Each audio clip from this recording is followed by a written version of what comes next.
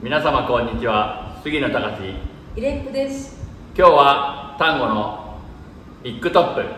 5ステップについて説明したいと思います。それではまず踊ってみたいと思います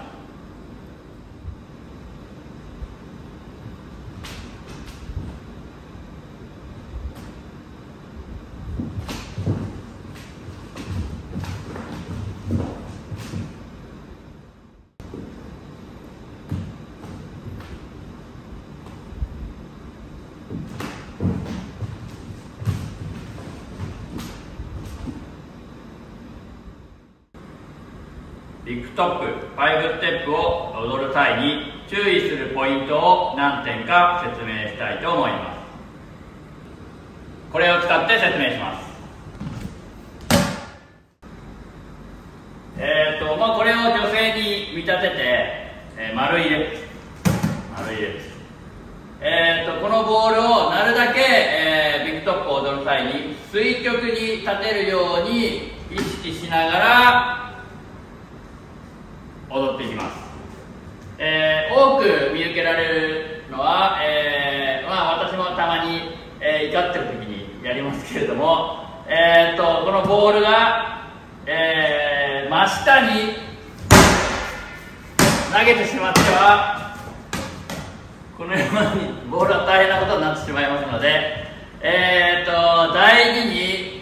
垂直にこのボールが動くように踊ってあげるように、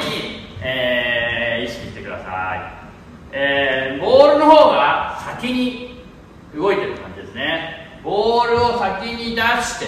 そこからステップしてボールを先に出してでステップを後から、えー、追いかける、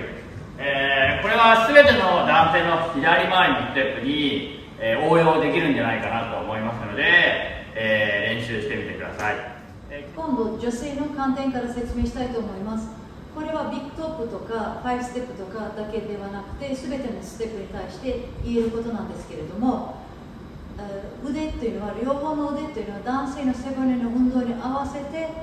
から動くというのは大事です。この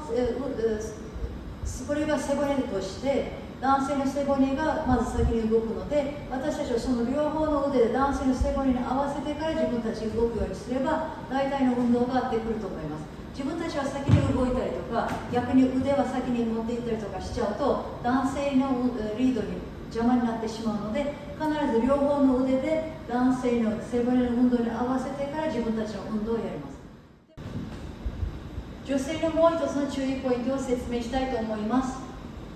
外回りのステップになると大体の女性は距離を頑張って男性を超えようとしてしまいますけれども基本的に男性を超えようとすると重なってしまうから逆に運動が止まります。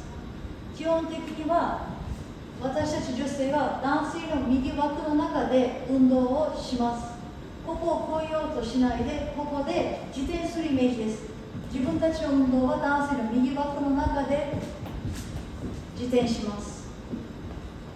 この中で右バッの中で。右枠の中で自転します。